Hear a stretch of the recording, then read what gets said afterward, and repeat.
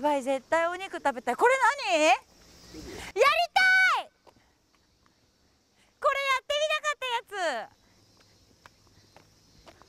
つ。支配人。支配人ですか？あ支配人ですか？あの今今生 RCC テレビの今生っていう番組でロケしてまして。そうなん突然なんですね。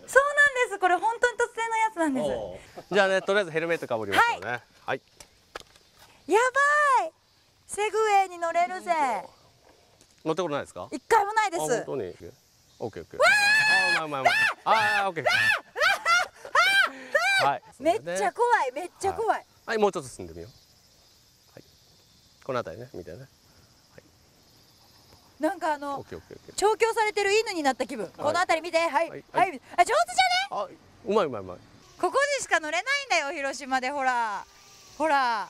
乗った方がいいよ絶対。ほらおはるよ。ね乗った方がいいよ絶対。これ超楽しいからさ。終わるもの見なよ。